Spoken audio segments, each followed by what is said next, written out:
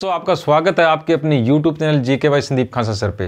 दोस्तों, आपको नोटिस तो आपने देख ही लिया होगा, कल से जो नोटिस वायरल हो रहा है, उसमें एच के जो सेक्रेटरी है, उन्होंने डिस्ट्रिक्ट के सभी डिस्ट्रिक्ट को नोटिस भेजा और उसमें उन्होंने सेंटर के बारे में जानकारी मांगी। यानी हमें अब पता लग चुका अभी मार्च, अप्रैल और मई के अंदर एच एस के जितने भी एग्ज़ाम पेंडिंग है, वो सभी होने वाले और सबसे ज़्यादा उम्मीद ये है सबसे पहले ग्राम सचिव का एग्ज़ाम होगा। और जो बच्चे लगातार तैयारी कर रहे हैं, उनका सिलेक्शन तो श्योरली है। और आज से हम हमारे जो चैनल है जी के वाई संदीप खान सर पे, इस पर हमारा पहला टॉपिक रहेगा, हरियाणा के प्राचीन नाम। यानी इसके ऊपर डिस्कस करेंगे। यानी हरियाणा को प्राचीन समय में क्या कहा जाता है? अगर हरियाणा की बात करें तो हम सिंधु घाटी सभ्यता से हरियाणा के प्रमाण मिले। यानी सिंधु घाटी सभ्यता की बात करें तो हिसार के अंदर राखी गढ़ी हो गया भिवाणी के अंदर मिथाथल हो गया, और जैसे फतेवाद की ज़िक्र करें तो कुनाल, बिरडाना और बन्ना वाली यहाँ से सिंधु घाटी सभ्यता के अवशेष मिले हैं। यानी उनके जो मृत भांड है, यानी उनके वो मिले हैं। राजा के मुकुट भी कहाँ से मिले हैं? कुनाल फतेवाद से। तो हमें ये डिस्कस करना भी हरियाणा को प्राचीन समय में क्या कहा जाता है। जैसे महाभारत का हम ज़िक्र करें तो महाभारत में हरियाणा को क्या कहा गया है? महाभारत में। महाभारत के अंदर हरियाणा को कहा गया बहुधान्य। बहुधान्य। किसके अंदर कहा गया महाभारत के अंदर। और बहुधान्य का अर्थ क्या होता है? अंत्यत समृद्ध भूमि। बहुधान्य का अर्थ क्या होता है? अंत्यत समृद्ध भूमि। अंत्यत समृद्ध भूमि। अंत्यत समृद्ध भूमि यानी बहुत अन्य किसे कहा गया? हरियाणा को। किसमें कहा गया? महाभारत में। और एक बार किसी ने पूछ लिया गया तो महाभारत का युद्ध कब हुआ था? तो यानी नौ सौ ईसा पूर्व कौन सा युद्ध हुआ था? महाभारत का। और कहा हुआ था? कुरुक्षेत्र के अंदर। किस किस के बीच में हुआ था? पांडवों और कौरवों के बीच में। कब हुआ था? नौ सौ ईसा पूर्व। ग्रुप डी के पेपर में ये पूछा गया था। ठीक है, इसी तरह अगर कुरुक्षेत्र की बात करें तो कुरुक्षेत्र राजा कुरु के नाम के ऊपर, कुरुक्षेत्र का नाम पड़ा था। यानी महाभारत काल समय में कुरु राजा के नाम पर। किसका नाम पड़ा था? कुरुक्षेत्र का। इसी तरह एक बार ये पूछा गया था कि कुरुओं द्वारा उपजाई गई भूमि को क्या कहा गया है? कुरुओं द्वारा उपजाई गई भूमि। उपजाई गई भूमि को क्या कहा गया है? तो इसमें अच्छी ने सही माना था आदि रूपा आदि रूपा। किसके द्वारा उपजाई गई भूमि को कहा गया? कुरुओं द्वारा उपजाई गई भूमि को क्या कहा गया? आदि रूपा। यानी महाभारत में हरियाणा को क्या कहा गया था? बहुधान्य। इसी तरह मनुस्मृति की बात करते हैं। मनुस्मृति में हरियाणा को क्या कहा गया? ब्रह्मावर्त मनुस्मृति के अंदर ब्रह्मावर्त मनु स्मृति में क्या कहा गया? ब्रह्मावर्त ब्रह्मावर्त किसमें कहा गया? मनुस्मृति में। और ब्रह्मावर्त की बात करें तो ब्रह्मावर्त मनुस्मृति के अंदर बर्मावर्त कहा गया और बर्मावर्त सरस्वती नदी और दृष्टवती नदी के आसपास का क्षेत्र था, उसे क्या कहा गया? दृष्टवती नदी के आसपास का क्षेत्र।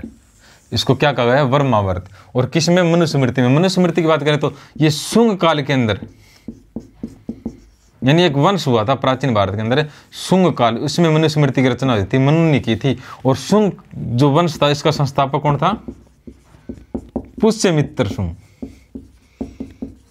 पुष्यमित्र सुंग यानी सुंग काल के अंदर मनुष्य मृत्यु की रचना हुई थी, इसमें क्या कहा गया? बर्मावर्त और बर्मावर्त किस नदी के आसपास के क्षेत्र को कहा गया था? सरस्वती और दृष्टवती नदी के आसपास का क्षेत्र। दोस्तों, मैं आपको यह बताना चाहूँगा, दृष्टवती नदी। एक बार तो अच्छे ने साइबी नदी को दृष्टवती नदी माना है। और एक बार क्या अगले ही एग्ज़ाम में क्या मान लिया था? चोटांग नदी को। चोटांग नदी को दृष्टवती नदी माना था। यानी मनुस्मृति के अंदर क्या कहा गया? ब्रह्मावर्त। इसी तरह हम बात करें हरिश्चरित बाण भट्ट द्वारा रचित हरिश्चरित के अंदर। हरियाणा को क्या कहा गया है? श्रीकंठ जनपद। बाण भट्ट द्वारा रचित हरिश्चरित के अंदर। हरिश्चरित के अंदर क्या कहा गया है? श्रीकंठ जनपद। श्रीकंठ जनपद। किसके अंदर कहा गया? हरिश्चरित के द्वारा। हरिश्चरित के अंदर। किसने रचना की थी? इसकी बाण भट्ट ने। बाण भट्ट ने। और बहुत बार ये क्वेश्चन हो गया पूछा गया, बाण भट्ट किसका दरबारी कवि था तो ये किसका दरबारी कवि था राजा हर्षवर्धन का दरबारी कवि था कौन? बाण भट्ट। राजा हर्षवर्धन का। दरबारी कवि कौन था? बाण भट्ट। और बाण भट्ट की हरिश्चरित में हरियाणा को क्या क्या कहा गया? श्रीकंठ जनपद। इसी तरह हरिचरित के अंदर कुरुक्षेत्र को भी क्या बोला गया? श्रीकंठ जनपद। श्रीकंठ जनपद। श्रीकंठ जनपद। बहुत बार ये पूछा गया, राजा हर्षवर्धन ने अपनी दूसरी राजधानी किसे बनाया था? तो दूसरी राजधानी किसे बनाया था? कन्नौज को। राजा हर्षवर्धन की राजधानी कौन सी थी? थानेसर, जो कहाँ रहेगी? कुरुक्षेत्र के अंदर। यानी हरिश्रित किसकी रचना थी? बाण भट्ट की। और इसमें हरियाणा को क्या बोला गया? श्री कंठ जनपद। इसी तरह हम बात करें तो ऋग्वेद के अंदर हरियाणा को प्राचीन समय में क्या पुकारा गया था? रज हरियाणा। यानी ऋग्वेद के अंदर क्या बोला गया था? रज हरियाणा। ऋग्वेद के अंदर। रज हरियाणा। रज हरियाणा। किसमें बोला गया था? ऋग्वेद के अंदर। सबसे प्राचीन मंडल आ जाए सबसे प्राचीन वेद।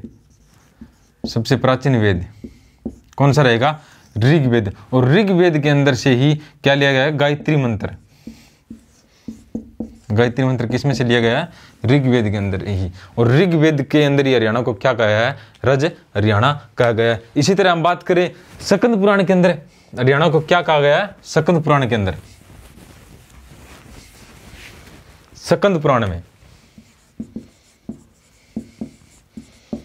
सकंद पुराण में हरियाणा को क्या कहा गया हरियाणे। हरियाणे। किसमें कहा गया, सकंद पुराण, यानी हरियाणा का मतलब क्या है? हरी भरी भूमि। हरी भरी भूमि। किसी में कहा गया, सकंद पुराण के अंदर। इसी तरह हम बात करें, यदुनाथ सरकार द्वारा क्या कहा गया? हरियाले। यदुनाथ यदुनाथ। यदुनाथ सरकार द्वारा क्या कहा गया? हरियाले। हरियाले। किसके द्वारा बोला गया? यदुनाथ सरकार के द्वारा। इसी तरह हम बात करें, महाभारत के अंदर क्या कहा गया? बहुत अन्य और इसी तरह हम बात करें मनुस्मृति के अंदर ब्रह्माव्रत इसी तरह शकल पुराण के अंदर हरियाणा। महापुराण के अंदर हरियाणा को क्या कहा गया? पुष्प द्वारा रचित महापुराण के अंदर। हरियाणु। हरियाणु। किसमें कहा गया? महा महापुराण के अंदर। और इसकी रचना किसने की थी? पुष्पदत्त ने। पुष्पदत्त ने।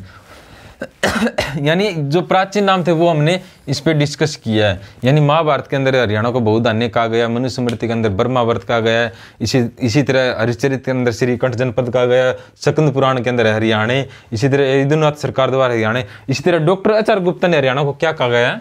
क्या कहा है? आर्यना, डॉक्टर एच गुप्ता ने। Doctor H Gupta, doctor H Gupta ने। क्या कहा है? आर्यन्ना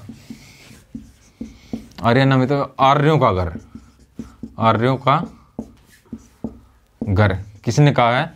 डॉक्टर एच आर गुप्ता ने। ये थे दोस्तों हमारे हरियाणा के प्राचीन नाम यानी अलग अलग समय में हरियाणा को क्या कहा गया। आपको अगर क्लास अच्छी लगे तो लाइक करना शेयर करना और कमेंट करके ज़रूर बताना आपको क्लास कैसे लगी। और अपनी तैयारी लगातार करते रहना क्योंकि कहते हैं पढ़ाई और नाई का काम कभी भी नहीं मन जा, नहीं जाने वाला है। यानी आप लगातार पढ़ते रहो तो सिलेक्शन आपका हो जाएगा क्योंकि जब कोई भी काम करते हैं यानी कोई भी अगर पत्थर तोड़ते तो पहली चोट से पत्थर नहीं टूटता लेकिन अंतिम चोट से पत्थर टूट जाता। लगातार तैयारी करते रहेंगे। करेंगे तो सिलेक्शन श्योरली होगा। आपको क्लास अच्छी लगे तो शेयर करना और लाइक करना और कमेंट ज़रूर करना। जय हिंद, जय भारत।